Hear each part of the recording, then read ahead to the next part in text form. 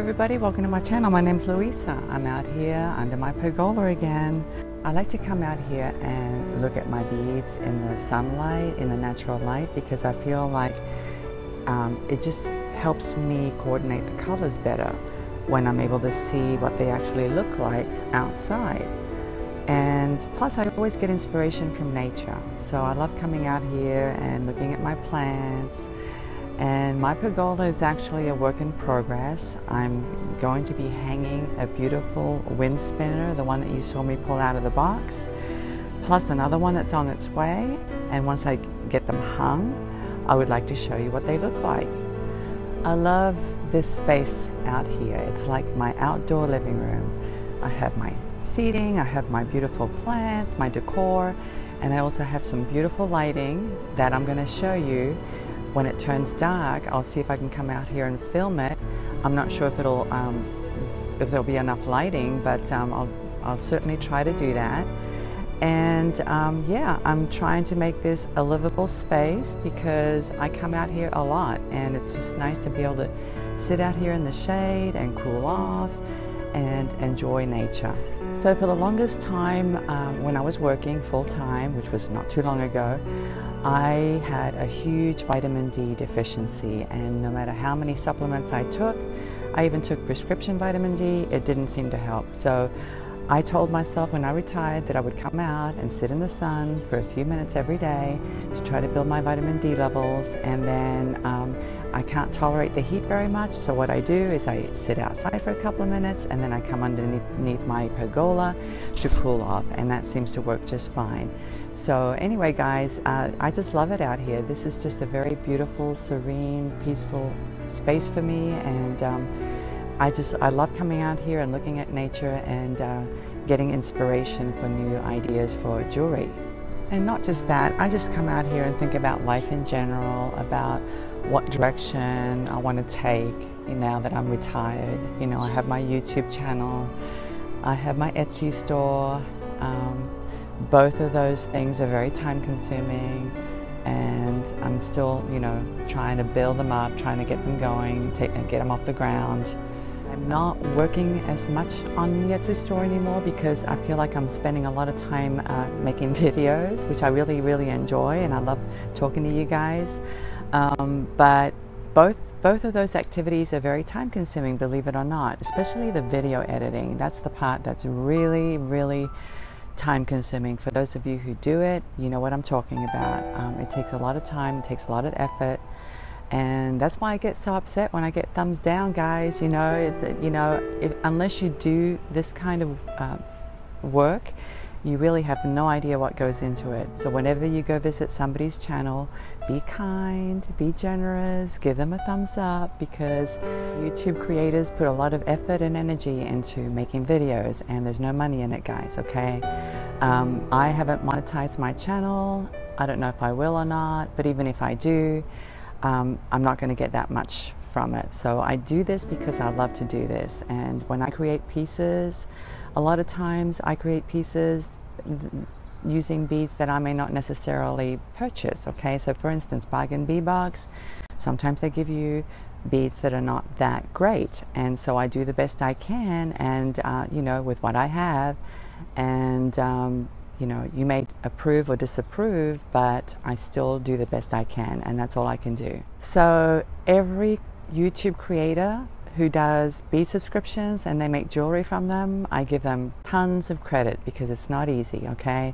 It's not easy to be given a, a, set of beads and for them to sit down and come up with something, okay? That's very, very challenging. And then to put it on YouTube um, is very challenging and very stressful as well. So uh, the next time you watch somebody's um, finished uh, jewelry video, just keep in mind all the effort and energy that went into putting those pieces together and putting the videos together and how challenging that is. And you may not like the box for that particular month, but just because you don't like the box, you should not give that creator a thumbs down, okay? Because that creator did the best she could with what she had. And so whenever I watch anybody's videos, that's what I do. I try to give them a thumbs up. I try to give them some love to show them how much I appreciate their efforts, how much I appreciate them putting it on a video. Um, And you know something? What I find really interesting is that I will make a piece that does really well on, say, Instagram or Facebook um, that I didn't think would do well, that I personally didn't think was great. Uh, and then I'll make another piece that I think is awesome. I'll put it on social media and it doesn't get much attention at all. It's just really, really funny how that happens. But you know, I appreciate whatever attention I can get. That's how I look at it, whether it's negative or positive. I appreciate the fact that people are watching my videos. Um, to me, it's very humbling and um, you know, I'm very, very grateful. I guess the video that really surprised me was the one where I showed a little bit of dancing and I got so much negativity. Well, not a lot, but I got negativity from that and I don't know why because, you know, my channel, I, I, I don't know if I want it to be strictly about jewelry, this, which is why I'm out here under my pergola talking to you guys. I want it to be about my life in general, just, you know, what I do, my creativity. And part of my creativity is dancing. I love to dance. And so I got a little bit of negativity when I put that video out for some reason. Um, I know a lot of you just want the jewelry tutorials, and I get that, I understand that. So from now on, I'm going to put some um, timestamps on my videos so people can go go to uh, directly to the tutorial piece so they can skip everything else if they don't want to watch it. It's a good thing to do. I think it's a courteous thing to do because I know that a lot of you don't want to see beautiful scenery or watch me dancing. I get that. I totally get that. Um, but yeah, that's another one that really surprised me. I put a couple of videos out um, earlier this year with beautiful scenery and music, and I got negativity with those videos as well.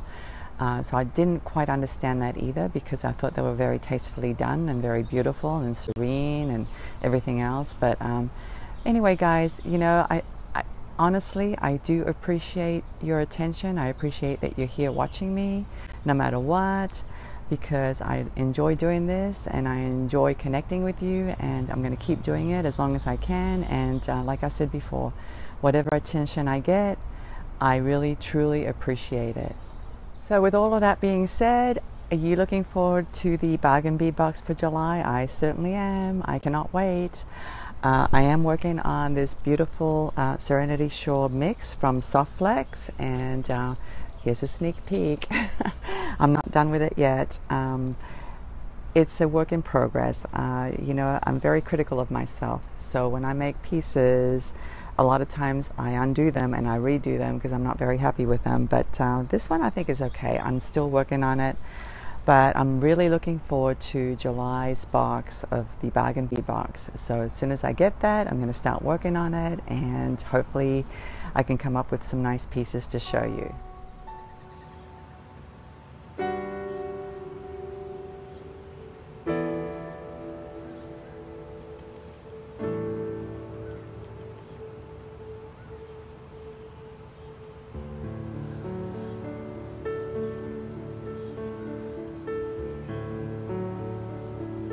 That was my pet rabbit. No, he isn't. he's a rabbit who lives in my backyard and he's been living there for over a year now. I would like to name him. So if you guys can, can come up with a name, I would love that. But I think he lives under my shed. I have a shed in the corner and I think he lives there. And he comes out and visits from time to time. He's not afraid of us. And he comes out and just hangs out. Very, very cute. Discovered him last year. He was just a little bunny last year. Tiny little thing. Very, very adorable and he was all by himself and he would just hang out on the on the lawn and just you know be there for a while. I tried feeding him a couple of times and of course he didn't like any of the food that I tried to give him. I tried to give him carrots and lettuce and those kinds of things but no he wasn't interested. So um, anyway I just think he's adorable. Anyway guys again thank you for watching. I'm looking forward to seeing you again and have a great day. Bye.